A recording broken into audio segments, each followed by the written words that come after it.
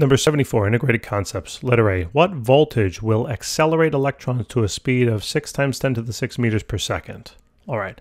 So um, we're going to need a formula from a couple of chapters ago, right? We know that energy is going to equal charge multiplied by the voltage applied, okay?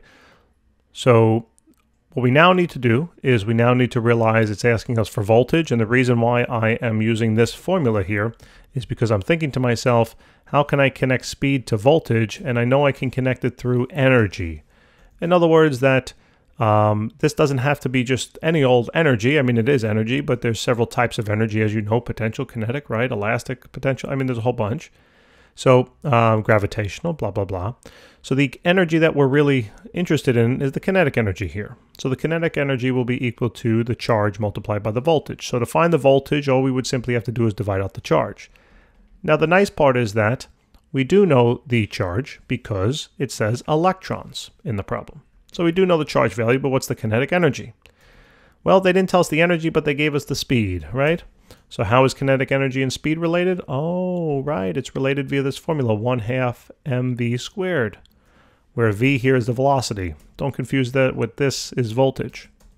And then divide that by q, and now we have everything we need. So this is 1 half multiplied, and I'll do it on the uh, right-hand side. So this is now going to be 1 half times the mass of an electron, 9.11 times 10 to the minus 31 kilograms. That just has to be a memorized or known fact. Uh, the velocity here is 6 times 10 to the 6 meters per second. Don't forget to square it. And then divide it by the charge of 1.6 times 10 to the uh, minus, uh, 19th. Okay. And, uh, no, yeah. What am I talking about? Too many constants in my brain. All right. So point, and that's negative, by the way, right? But who cares? 0.5 times 9.11 times 10 to the minus 31 multiplied by 6 times 10 to the 6 squared. Divide that then by 1.6 times 10 to the minus 19th. So it's about 102 volts. 102 volts. All right. So that's the voltage. And letter B, now it says find the radius of curvature of a path of a of the path of a proton accelerated through this potential in a 0.5 Tesla field and compare that with the radius of the curvature of an electron accelerated. Okay. So we need a formula that deals with radius of curvature, right? Isn't that over here on the right-hand side? Right? So that formula over there, this is for letter B, I guess, is going to be that the radius of curvature will equal the mass of the moving particle multiplied by its velocity, tangential velocity that is, divided by the charge, uh, divided by then the strength of the magnetic field. So here, uh, in order to find the radius of curvature for a proton, we need to know the mass of a proton. That is a known and memorized constant. The velocity of a proton, well, they told it to us. Right? The charge, that's memorized, and now the magnetic field, they told that to us. So guess what? We're just going to plug it in for the proton. So radius of curvature of a proton will be then, and actually they're saying compared to that of the radius.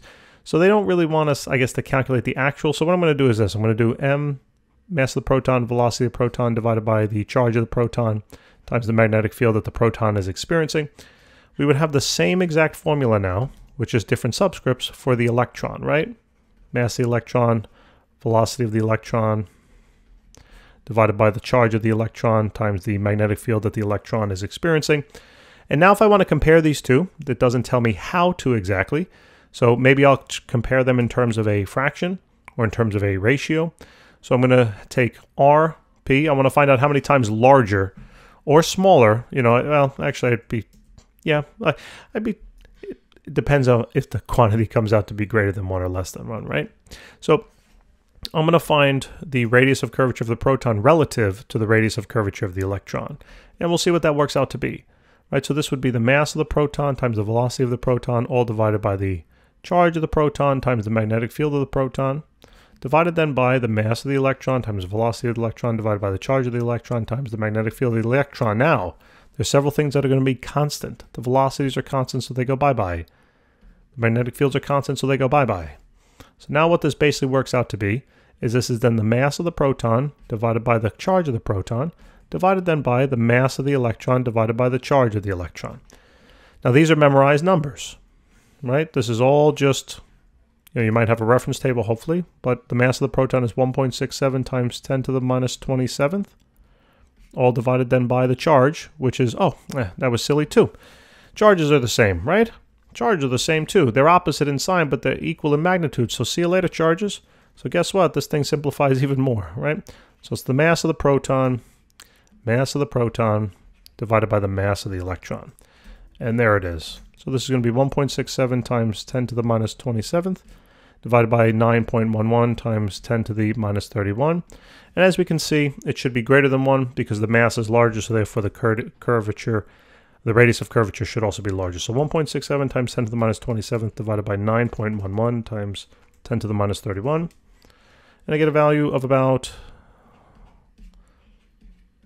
so this is about 1830 to 1.